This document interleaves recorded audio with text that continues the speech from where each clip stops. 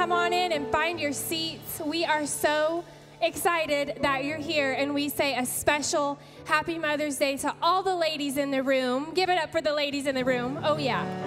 We're so happy you're here. We love you. And we have special treats for you today. So if you're here with family or friends, make sure you grab a picture out in the foyer. There's a beautiful floral arrangement there for you to take a picture.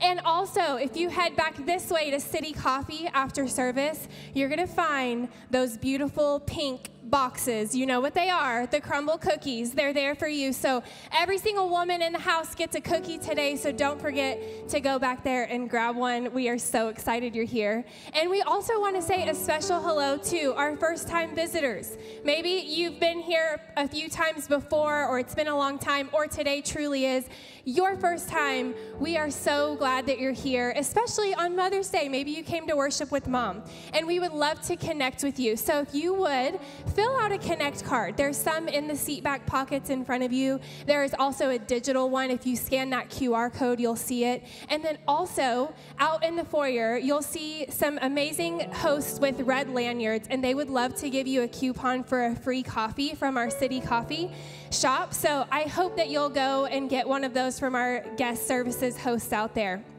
Well, we want to say thank you so much for your faithful giving to our church and the ministry here. We have something super exciting happening at the end of third service today. We're going to be baptizing some people who are giving.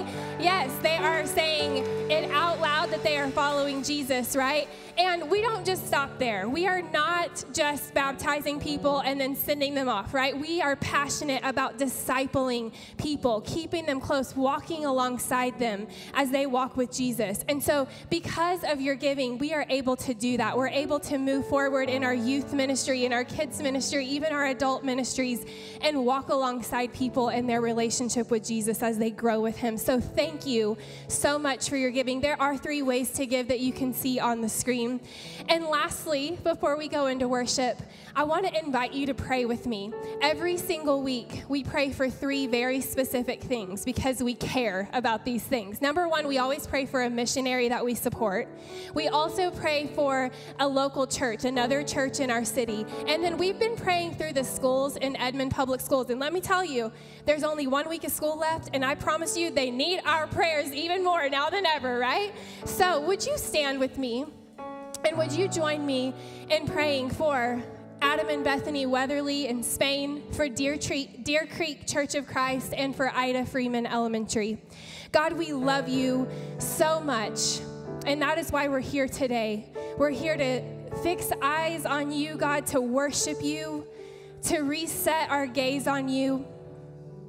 God, we just take this time to breathe in your presence and just to say, Holy Spirit, come. And we honor your presence here in this room. And God, we lift up these three specific needs to you today. These three people in church, God, in the school. God, I pray for the Weatherleys as they're ministering to people in Spain. Would your presence go before them? Would you open doors of opportunity and relationship there? God, would you give them creative vision for ways to reach people with your gospel that can change lives? And and God, we pray for Deer Creek Church of Christ. God, I pray right now as their services are happening that your presence would be so tangible, that you would be speaking to people. God, that you would give them creative ways to reach the people of Edmond and the surrounding areas. God, I pray that their people would be passionately following you and bringing others alongside them.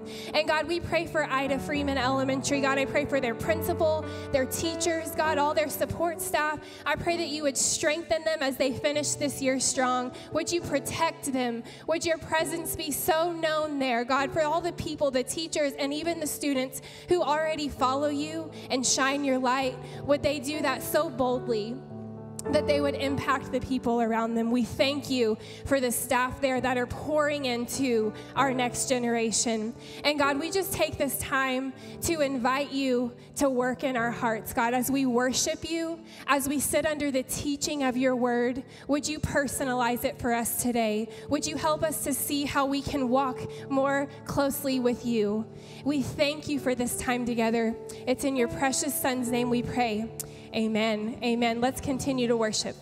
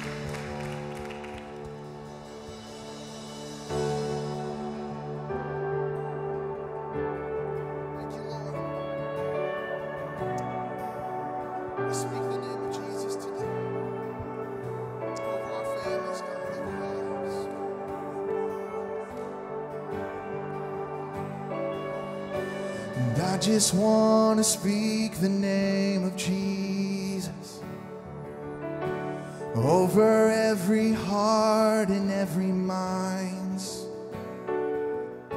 Cause I know there is peace within your presence. Oh, I speak Jesus.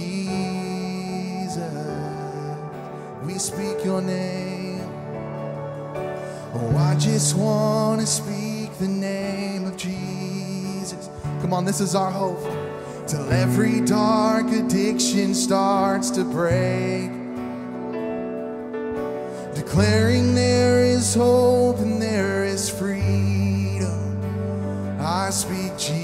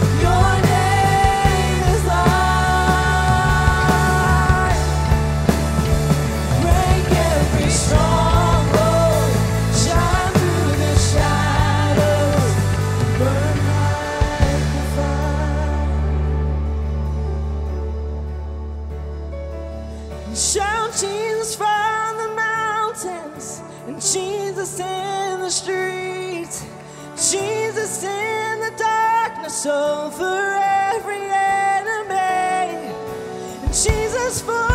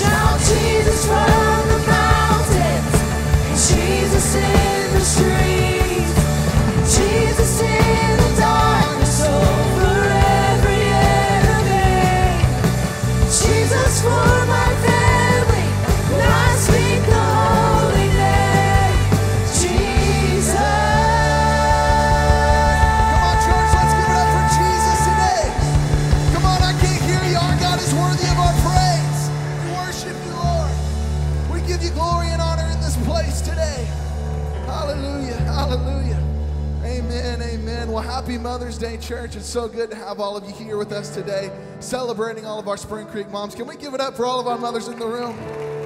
Amen, amen. So, so thankful for all of you. Hey, well, we're going to continue on with our service in a minute. We're going to sing another song. But before we do that, why don't you have a seat? Let's check out this special video today.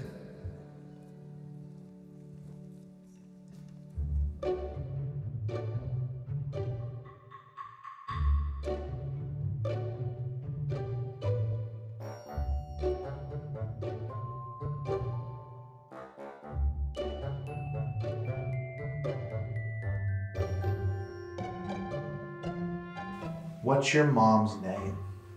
Whitney. Mommy? Jessiani. Jessiani. How old is your mom? Um, Rui. Um, she looks like she's 100 years old. No, don't say that. I think she's eight and a half. What's your mom's favorite thing to do on her phone?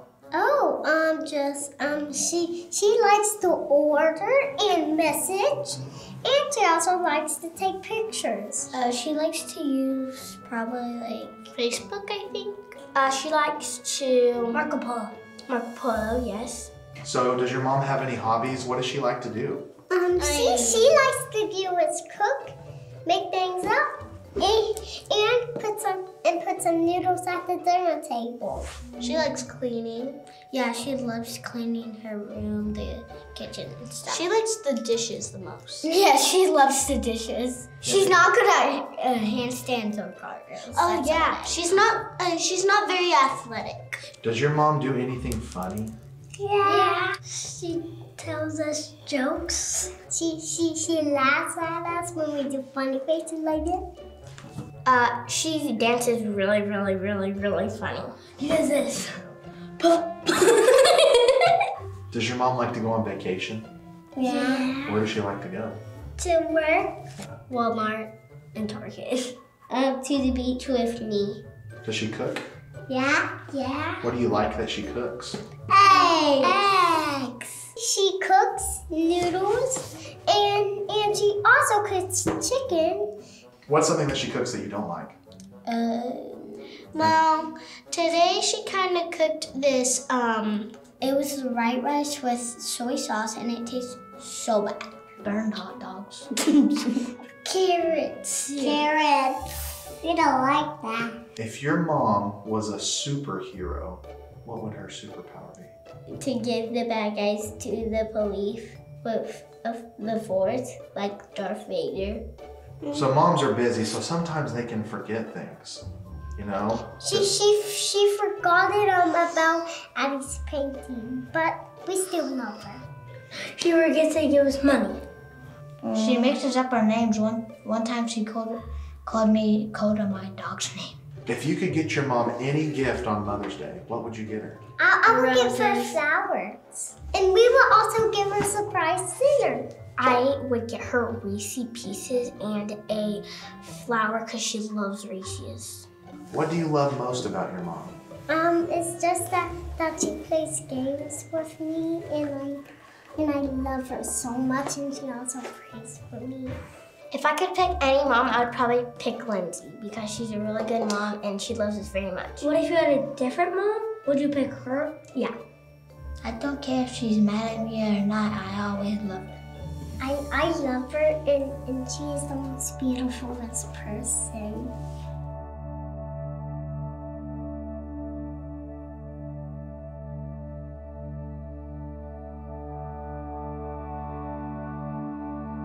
I danced for nine years, and my mom was there. She's my biggest supporter through it all. She um, was always the first person I'd run to after I got the stage. She always did my makeup. She got me ready, and then I'd come home and we'd talk about my dance. And she was just like the best supporter for all those years of my life. My mom was a worker and a planner. She was just always busy and uh, on top of it, always organized. And I think uh, I tend to be that way. You know, I, I, I got that from her, and I'm glad I did. Mom and I shared a love for sports and uh, supporting our family, my kids and um, family members in sports. And she was always teaching me things. I think it's not just one memory, it's several. And even in her passing, she was teaching me things. Um, she taught me just that uh, that people are what matter, and differences don't matter, but relationships, people. One of the biggest things that's like stayed with me that my mom has taught me is what it's like to have a relationship with Jesus every single day and to wake up and it's a new relationship. Like you just keep pursuing that relationship. And she just taught me how important that is and how much it'll change your life. If I had one more day, I'd love to take my mom shopping one more time. I would tell her how much I miss talking to her and try to say the things that maybe I didn't I didn't know I didn't say. I'd remind her what a cheerleader she was for us and what a rock she was for our family and for me.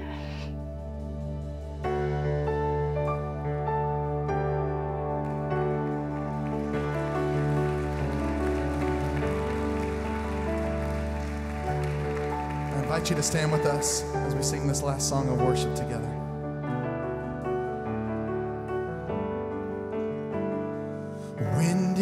Start to forget all of the great things you did? When did I throw away faith for the impossible?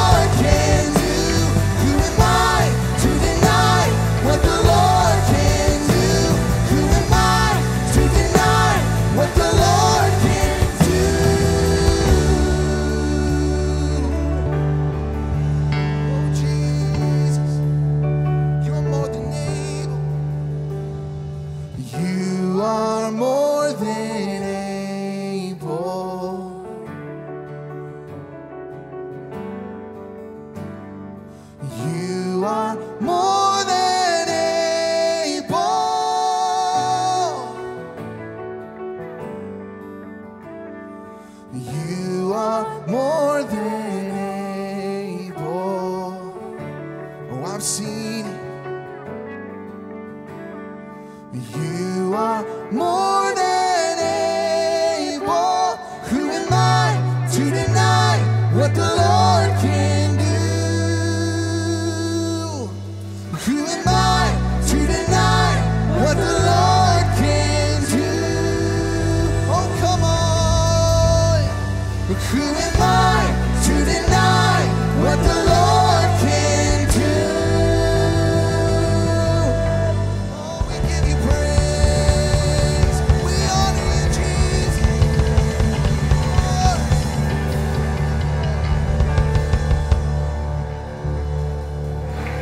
Wow, what a powerful song.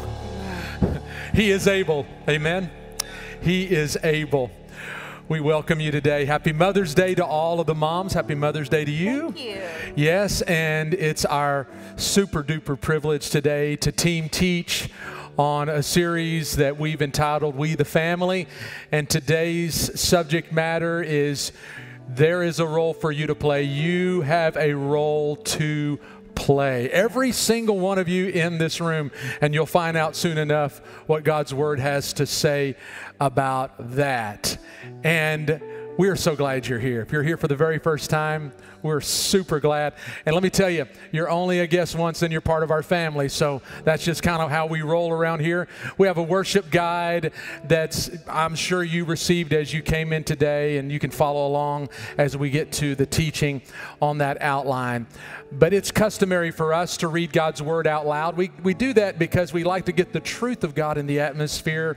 And we know to those who know the truth, the truth will set them free. So God's word is powerful. And so we say it out loud together. And today, just one verse. I normally have you reading a lot of verses, but today, just one verse. So I'm kind of letting you off the hook a little bit. But Ephesians chapter 5, verse 21 on the screen for you. And it's a powerful verse, and I want us to say it out loud. Are you ready? Yes. Let's say it out loud. Submit to one another out of reverence for Christ. You did such a good job. Let's do it again. Submit to one another out of reverence for Christ. Let's pray together.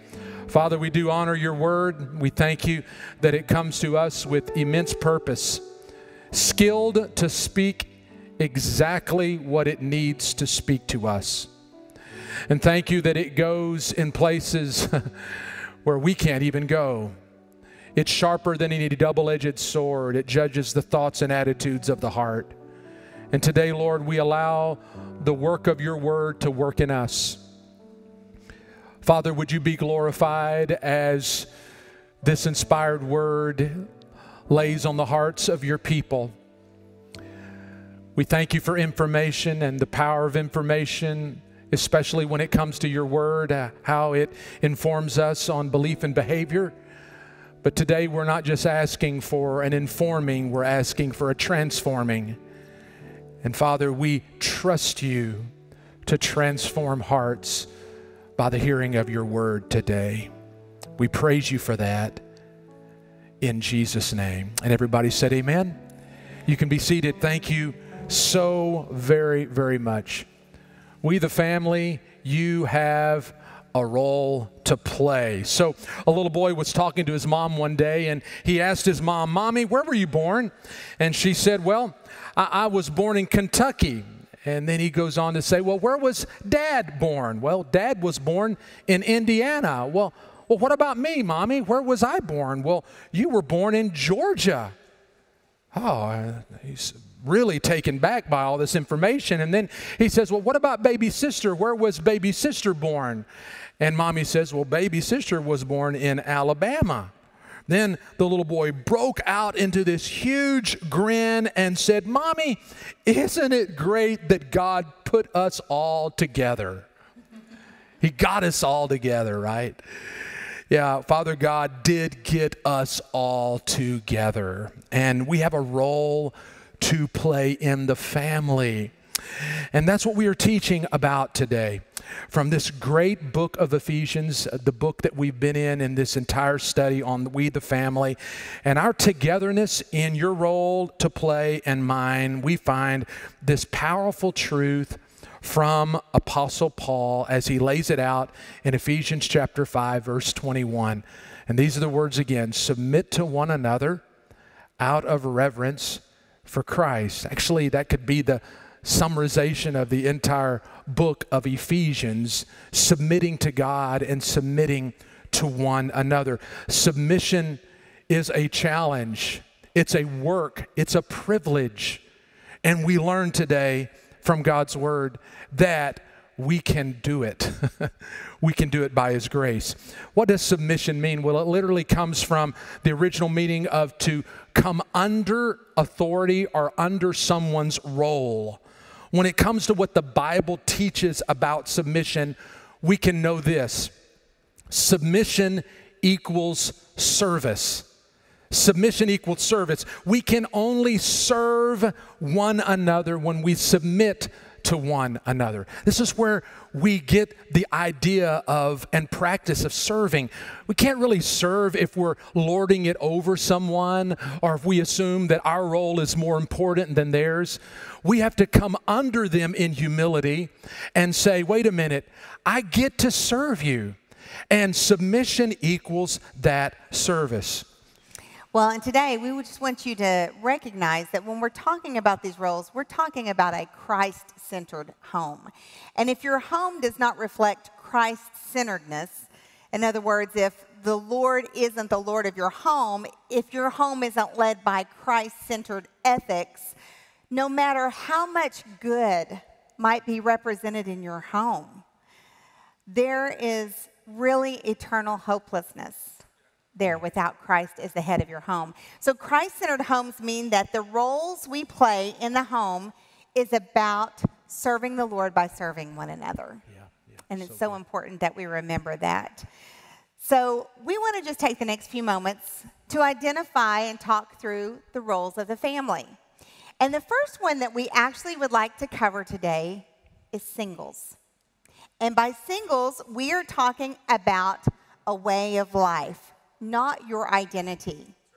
Because you are either living single because you've never married, um, maybe you're just not married presently, or maybe you have gone through a divorce or you are widowed. Your role in our church, in the church, is equally as important as any other role represented among us.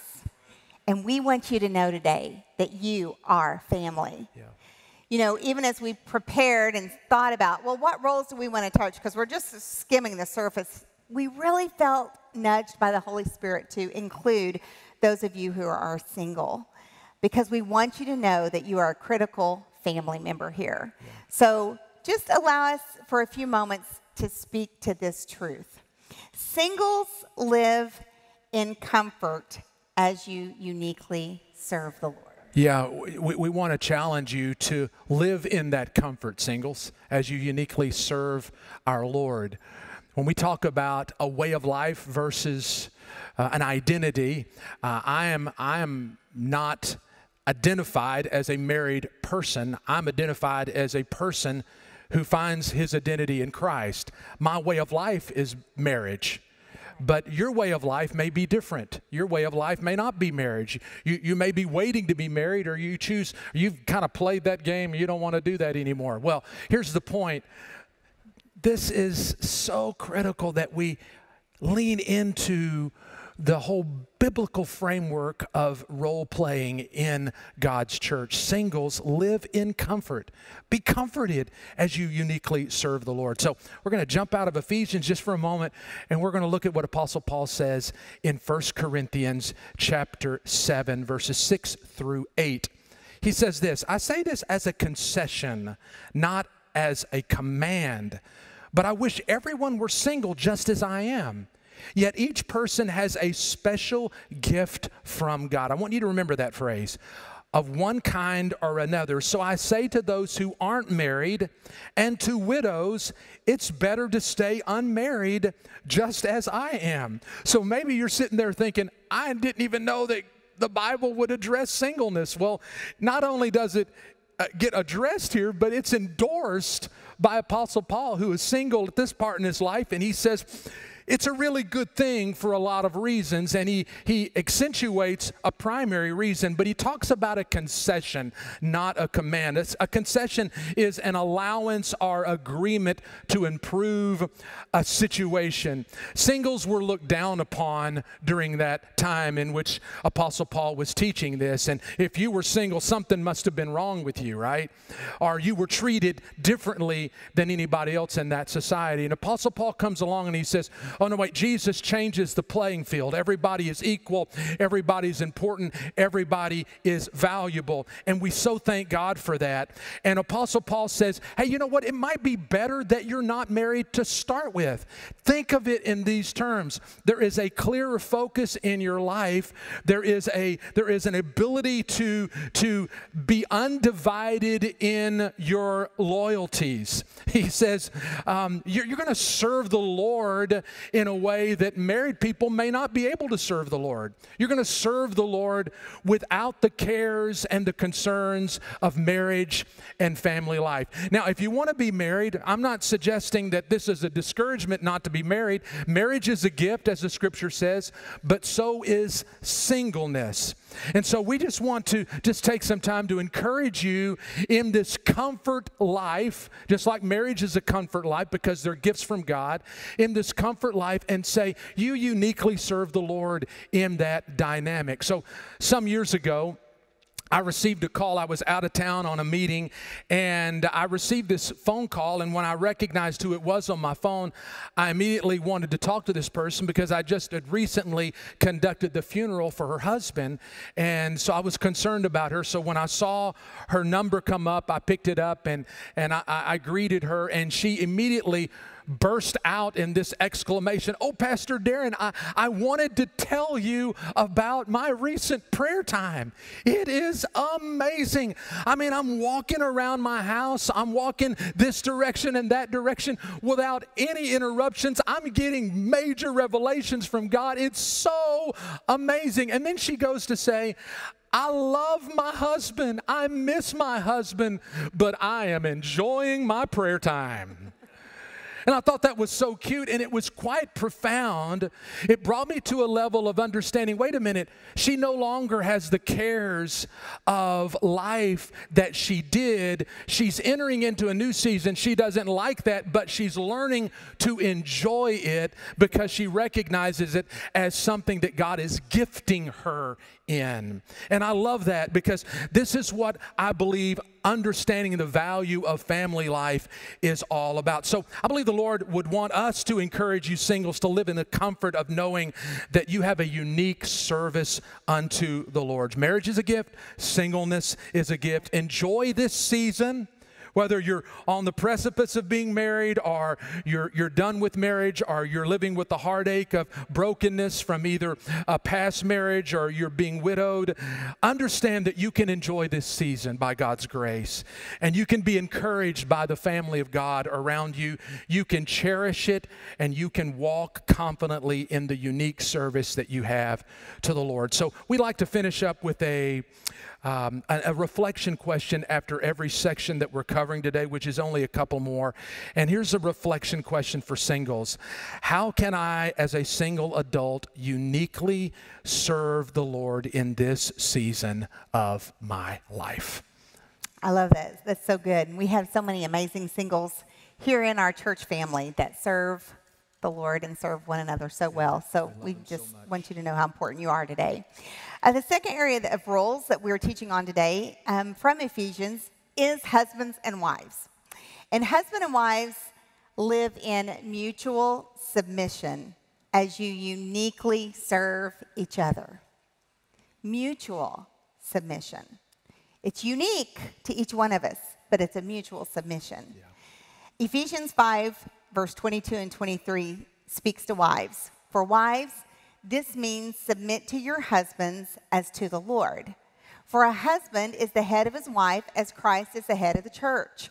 He is the Savior of his body, the church. And then verse 25 and 26 says, For husbands, this means love your wives just as Christ loved the church.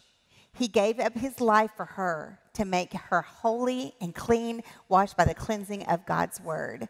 So we see instruction there to husband and wives. And it's about this idea of submission.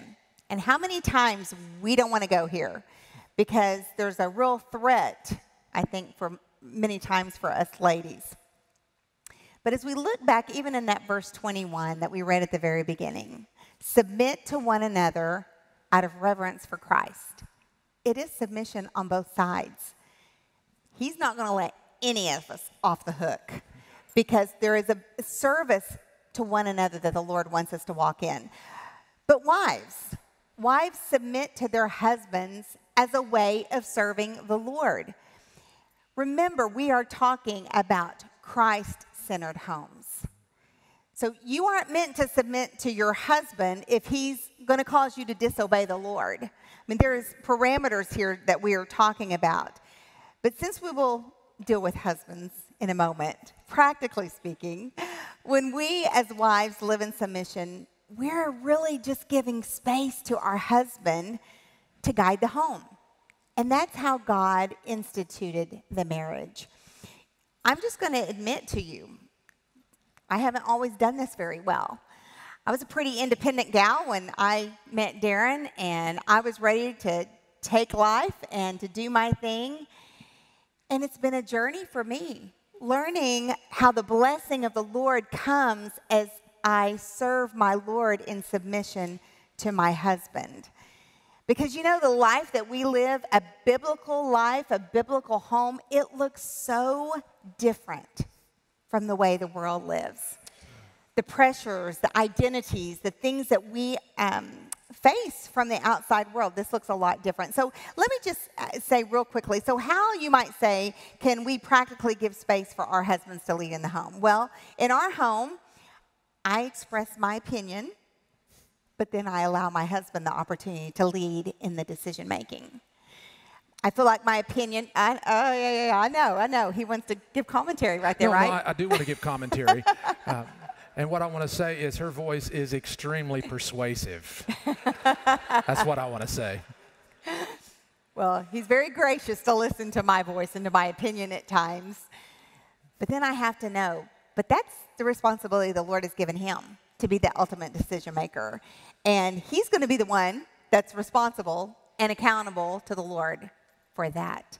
And so, how I l- allow him the opportunity to lead, it's really important.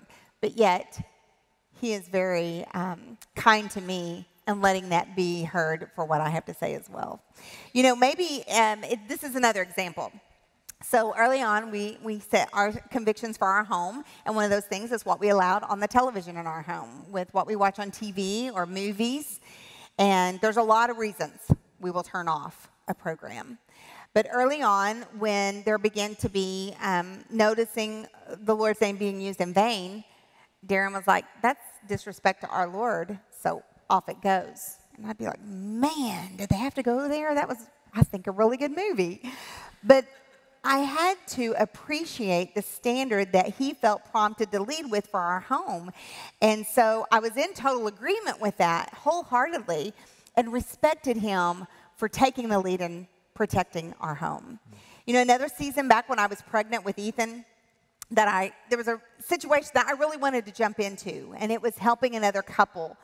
And though it was very well intended on my part, Darren felt that the timing was bad and that it would cause undue stress and concern for me. And even though I was kind of frustrated at that moment, and I wasn't really necessarily in favor of not jumping into the situation, I allowed Darren to lead in that situation, knowing he is the spiritual leader and his heart was to protect me and to protect our home. So I just want to say right here to you women and to your wives, I should say, when you continue to resist submission in this area, you will demoralize your husband, and his role as spiritual leader will not come as naturally in those moments when it's really needed. And on the positive side, you empower your husband to lead when you give him the space to guide your home. Mm.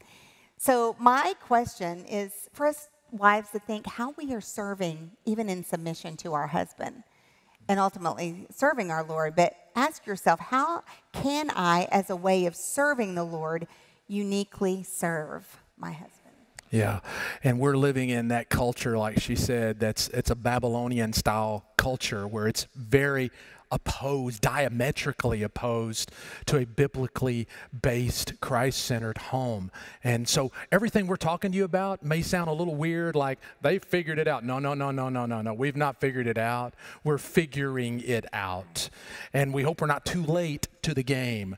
But it is a challenge and it's always before us. He's not looking for perfection, He's looking for a pursuit from us to do His will.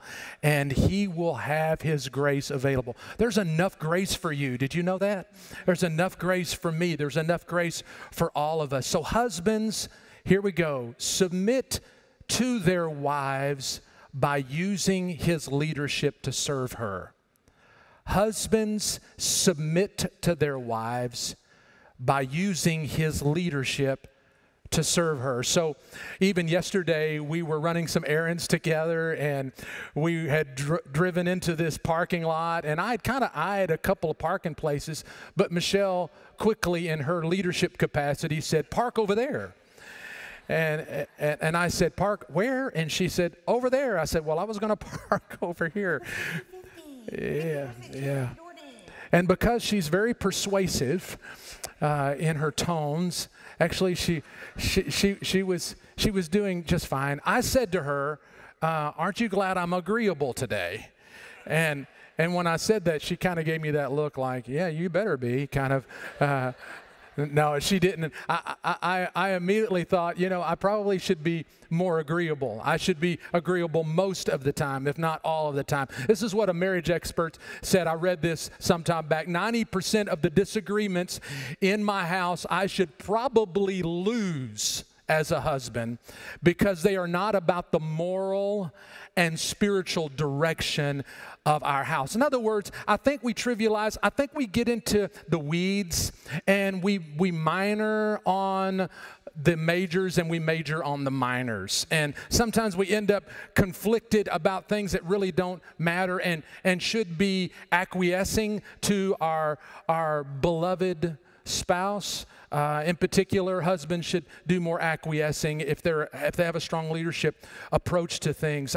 You know, when it comes to you know, I know men have a bent on color schemes and that type of thing. You know, I know what looks good, but I don't know how to get there. And so Michelle not only knows what looks good, she knows how to get there. And so if she decides she wants a color, I shouldn't say I'm not really crazy about that. Bum bum bum bum. You know, that wouldn't be good. Uh, I think the uh, the the the uh, godly approach for me, the practical approach, is just to say, How can I serve you in that beautiful color you chose? Or the window treatments, or do you want me to put that up for you? No, I, I, know, I know I'm being kind of facetious here, but in reality, I think this is the challenge from God's Word. Not that we get it right all the time, we should get it right more than we get it wrong if we're empowered by grace. But here's the point How can I serve you? And not make a big deal out of little deals. So here's also what I believe Apostle Paul is saying. He's really saying what it's not before he's saying what it is. And I believe that when we see this word head of the wife, you think, oh, that's just got negative connotations all over the place because we, we, we see it in, often in the English language use of head as the head of a corporation or the boss or the chief officer. And he turns it upside down, Apostle Paul does, and he transforms headship language by redefining it in reference to Jesus. And he says, Love your wives as Christ loved the church, which means he gave himself up for her. And so it's a sacrificial dynamic. It's, it's choosing her way above your way, unless it comes to the moral and spiritual dynamics of the home. So, husbands use their leadership by serving her and their family well. And can I just rush to this and say that this is so critically important. Uh, we don't lead by autopilot, we lead by intentionality. We lead by engagement and service in our home. So when it comes to understanding our role, we're front and center. We're leading the pack. We're not watching ESPN or playing on our phone when everybody else is doing chores, right? Or, or mm, you know, fulfilling their assignments and we're just kicking back because we're, quote, the head of the house. No, we are leading as servants. We're the lead servants of the home. So yeah, yeah, we get our hands dirty in the sink and we make the beds and we sweep and, and we get busy engaging in the responsibilities ourselves.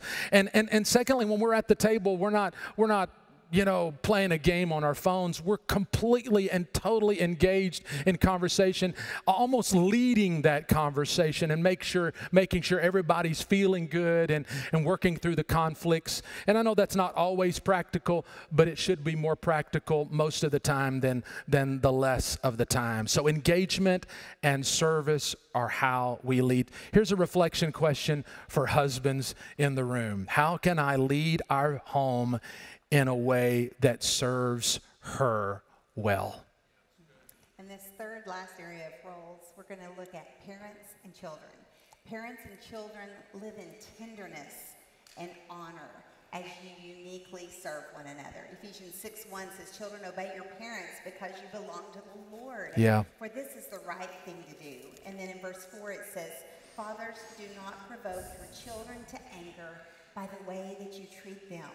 Rather, bring them up with the discipline and instruction that comes from the Lord. Yeah. So practical. So, so good. Let's deal with the role of children as it is dealt with first here in Ephesians chapter 6.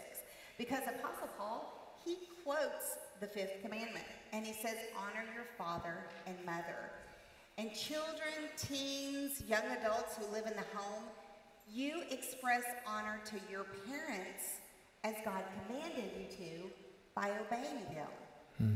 And here's the critical essence to this you learn obedience to God by learning to obey your parents. It's so practical, and it's in such a great environment for you to learn Hmm. how to trust God as you walk in trusting your parents and learning to obey them. So remember, we're, we are still talking about Christ in our homes. But if we don't learn obedience to our parents, Yeah. we won't learn obedience to God. Yeah. So this is why honoring your parents, this is just real practically critical for your walk even with the Lord. Yeah. So children learn submission to God by learning submission to your parents. My dad used to always say to me, Now, Darren, you got to remember I'm always right. And all that would make me so mad. I would say, and inside, I wouldn't say it out loud, but I would say inside, man, he's not right. He's not right on this one. He's not right on this one. And looking back, he wasn't always right, but actually, he was always right in that season of my life because he was my father. He was the head of the house.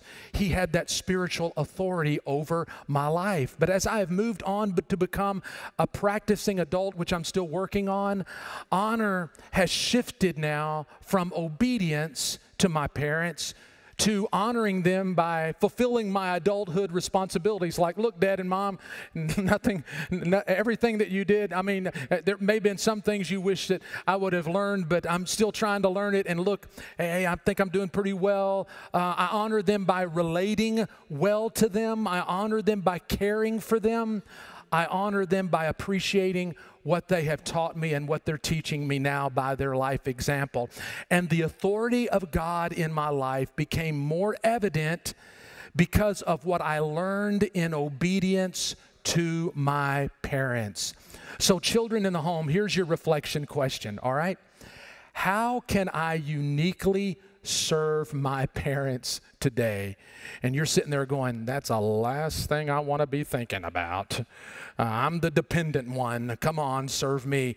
But here in this whole mutual submission, as we've learned in Ephesians 5:21, we know that children aren't off the hook either. And then parents.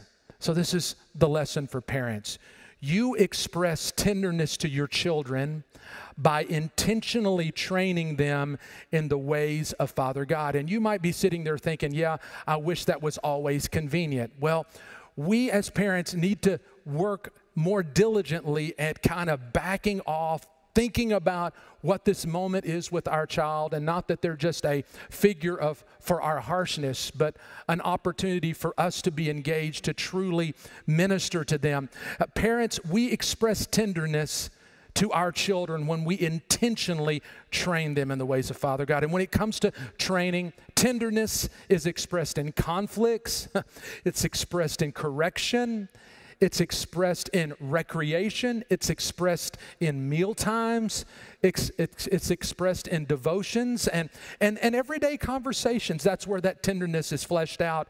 All of these come as intentional training opportunities for our children. So we don't want them to look back and say, I never felt the heart of God in our home. Why would I trust his heart now as an adult? The whole idea is that they would never misunderstand the goodness of God in His tender way of dealing with us.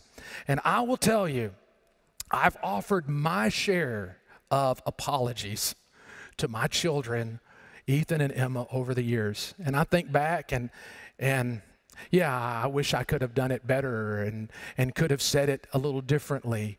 Uh, but I thank God for His grace, and, and uh, I think we as parents need to be really good at apologies to our children. Really good at being honest with them and saying, I think I messed that one up. Will you please forgive me? This is what should have happened. This is what I did. I'm thanking God that the grace of God is making up the difference. I, I had to do that a couple weeks ago after that message, Welcome Home Grace. That night, I walked in my daughter's room because I'd been instructing her and I felt like I had done it kind of harshly. And I said, Babe, I'm so sorry. Know my heart. I want to always lead you, and even in disciplining and instructing you in love and grace. And so we don't always get it right, but thankfully the Lord enables us to get it right. And can I just add to that by saying that uh, gospel shaped discipline in a Christ centered home is far less concerned with controlling behavior and far more concerned with character development. So if we're into control behavior or behaving or controlling behavior, we're going to be tempted to be more harsh like stop that. Like grabbing them by the shoulders and saying, Stop that. You know, that's good counseling. Just stop it. you know, uh, and, and sometimes that's the, that's a lack of patience that we have as parents. But if we'll just step back and say, Wait a minute, this is not about controlling behavior. This is about character development. What can I say? How can I convey this? And so we talk a lot about how. We talk how. We talk why a lot. Why do we do this? How are we able to do it by God's grace? And there are harder seasons than others. Different seasons, maybe you dads, the financial pressures that you're feeling, or a situation at work, it can become very stressful in those moments. Or as moms, you know, you're dealing with the kid's schedule and what am I going to cook for dinner and all of those things that sometimes, we, and we are disciplining, training our children. That's part of our roles as parents.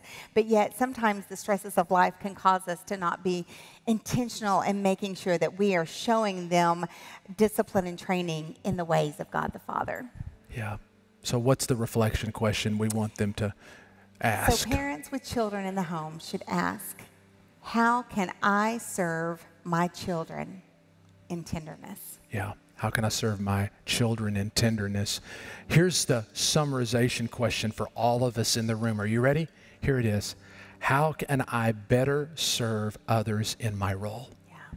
How can I better serve others in my role?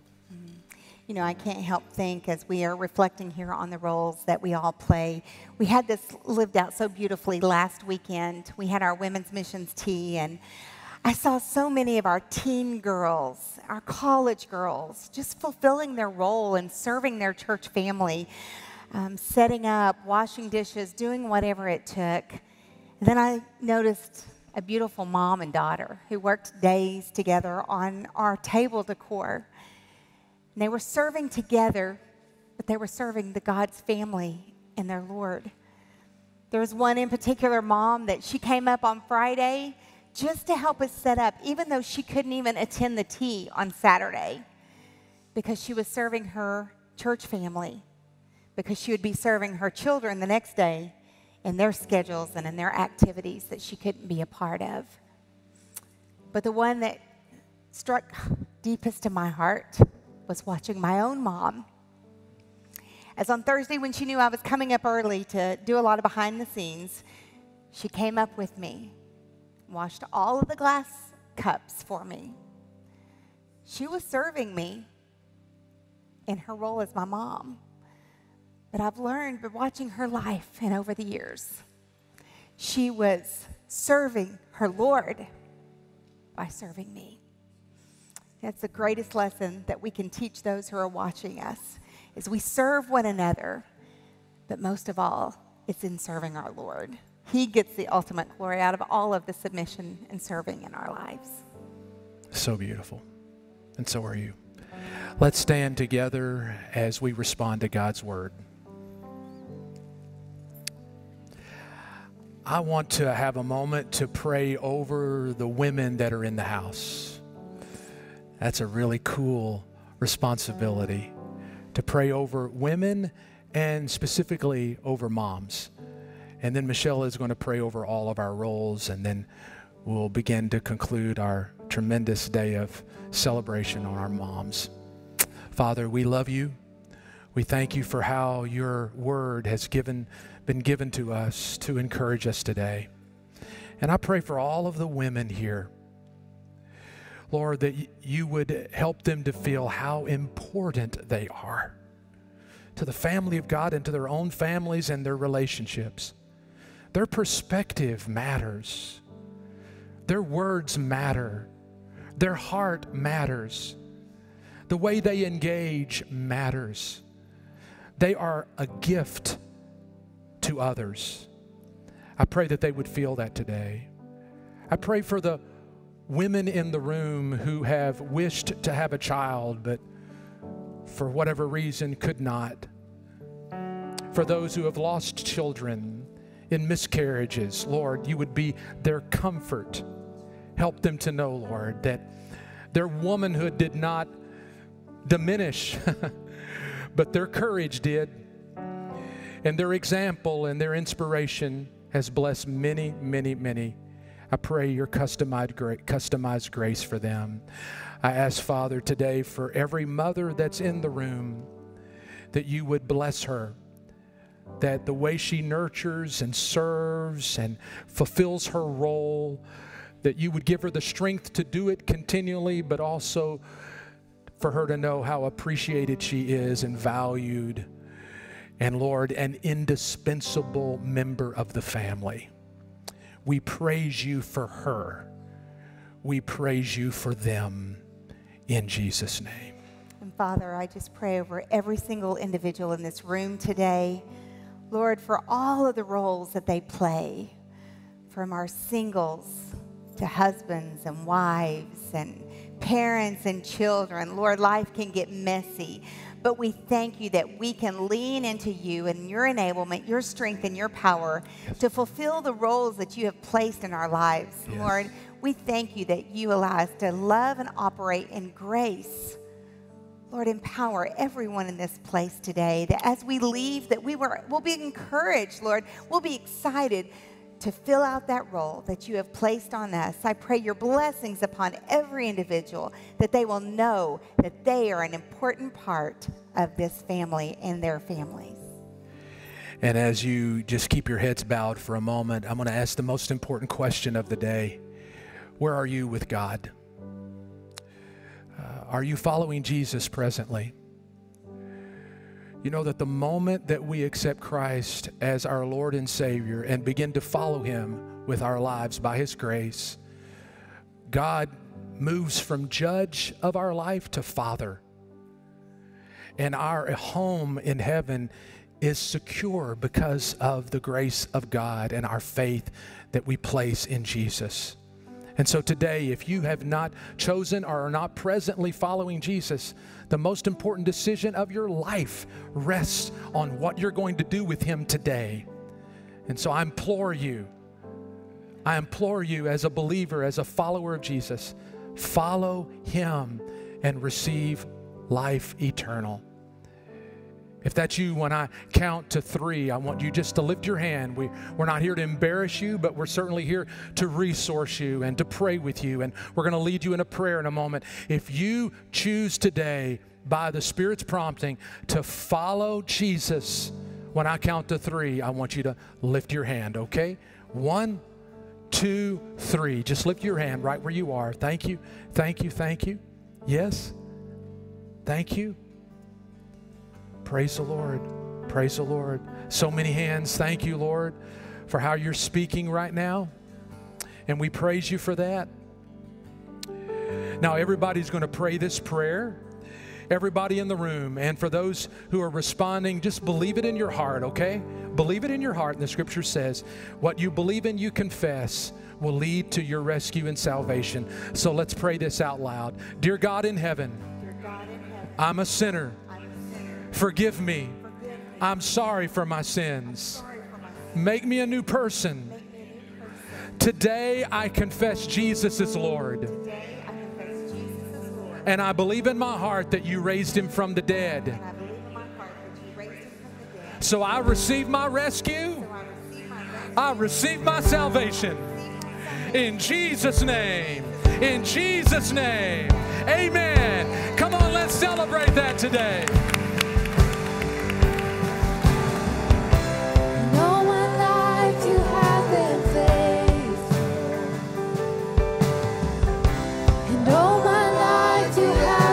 Have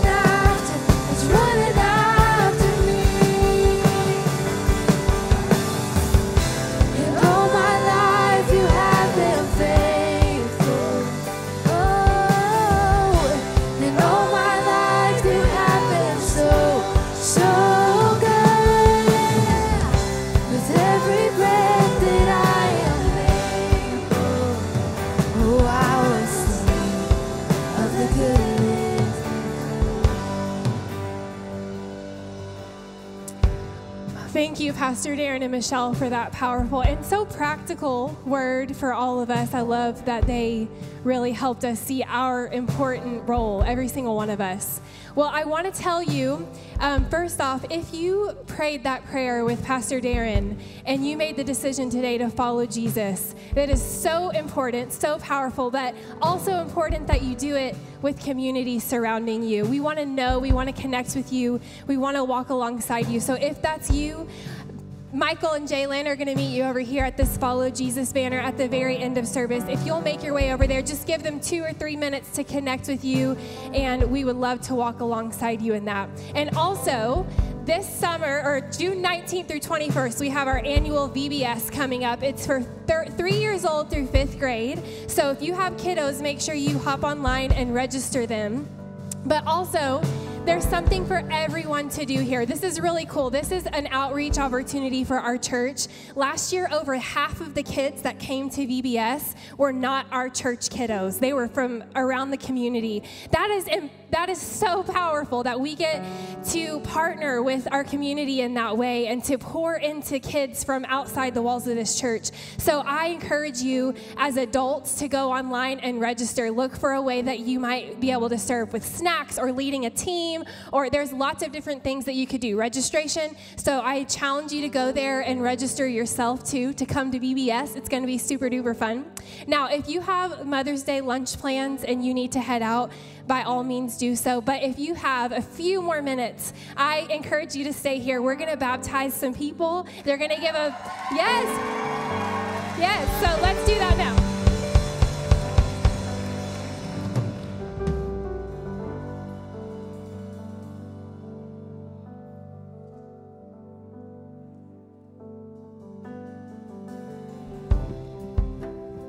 Right. This is Emily. Emily has begun following Jesus in the last couple of years, but uh, just before Easter this year, Alyssa invited her to come to Spring Creek. Uh, she immediately felt at home. This is what it, it, looks like when we say you're a guest at first and then you're part of the family. Uh, Emily just immediately part of the family. So we're so excited. Emily, have you made the decision to follow Jesus as your Lord and Savior? And you're going to live for Him for the rest of your life, no matter what. That's amazing. Based on your profession of faith, it's my honor to baptize you in the name of the Father, the Son, and the Holy Spirit.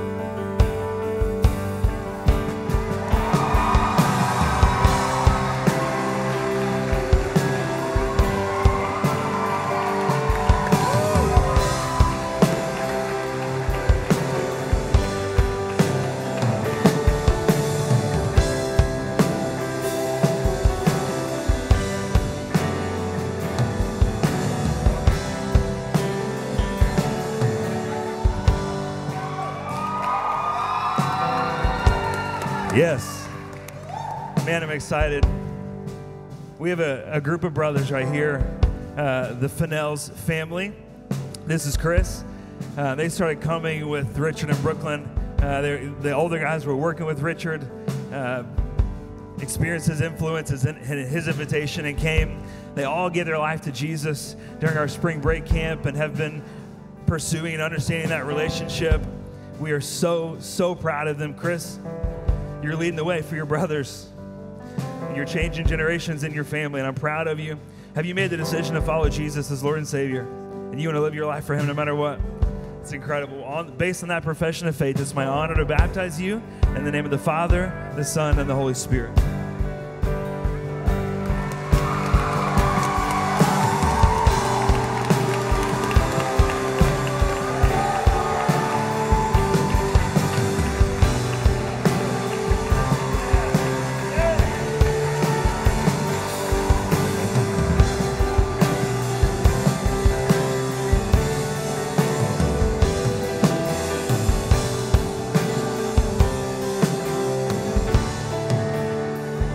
This is Kobe. Kobe was like, man, my heart's racing. He's so excited. Kobe, have you made the decision to follow Jesus as your Lord and Savior? And you want to live for Him no matter what, the rest of your life? Based on that profession of faith, Kobe, it's my honor to baptize you in the name of the Father, the Son, and the Holy Spirit.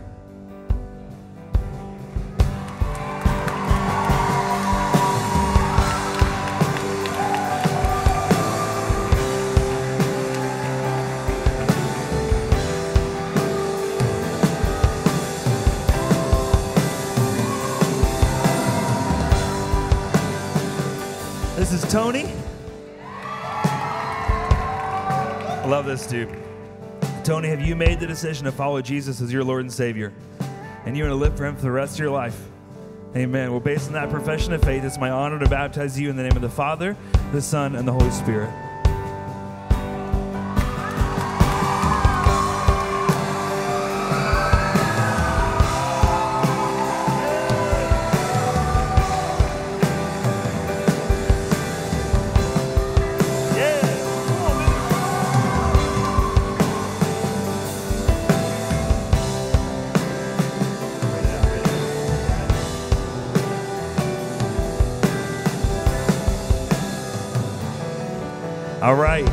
This is my man, Vinny.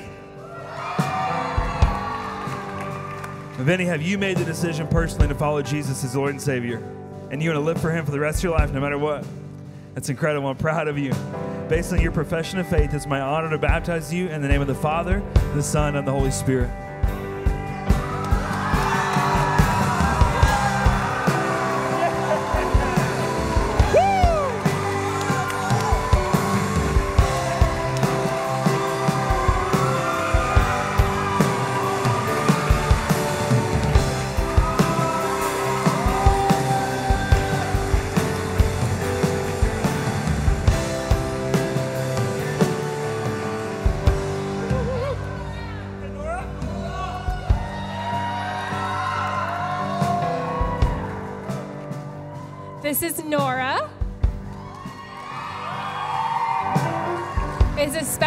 Mother's Day treat for me to baptize my firstborn daughter.